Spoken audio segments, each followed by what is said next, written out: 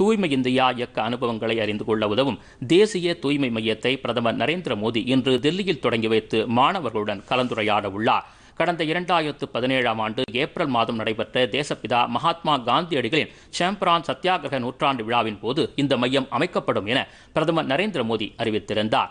அதன்படி மகாத்மா காந்தியடிகளின் நினைவிடமான தில்லி ராஜ்காட் அருகே அமைக்கப்பட்டுள்ள இந்த மையத்தை இன்று பார்வையிடும் பிரதமர்.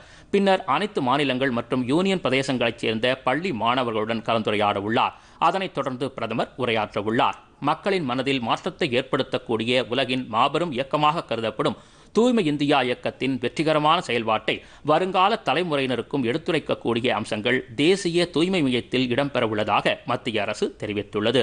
ஒளி ஒலிக்காட்சி அரங்கம் எல்இடி திரை திரைகள் கலந்துரையாடல் விளையாட்டுகள் போன்றவையும் இங்கு நடத்தப்பட உள்ளன இதற்கென டிஜிட்டல் மற்றும் வெளிப்புற பிரச்சார சாதனங்களும் இங்கு அமைக்கப்பட உள்ளது இதன் மூலம் தூய்மை மற்றும் அது தொடர்பான தகவல்கள் விழிப்புணர்வு நடவடிக்கைகள் கற்பிக்கப்பட உள்ளதாகவும் அரசு வட்டாரங்கள் தெரிவித்துள்ளன. பொதிகை செய்திகளை யூடியூபில் தமிழ் நியூஸ் தூர்தர்ஷன் என்ற சேனலிலும் முகநூலில் டிடி பொதிகை நியூஸ் என்ற பக்கத்திலும் ட்விட்டரில் டிடி நியூஸ் சென்னை என்ற பக்கத்திலும் இன்ஸ்டாகிராமில் டிடி பொதிகை நியூஸ் என்ற பக்கத்திலும் காணலாம். மேலும் உங்கள் கருத்துக்களை Podhigai DD news at Gmail dot com என்ற மின்னஞ்சலில் தெரிவிக்கலாம்.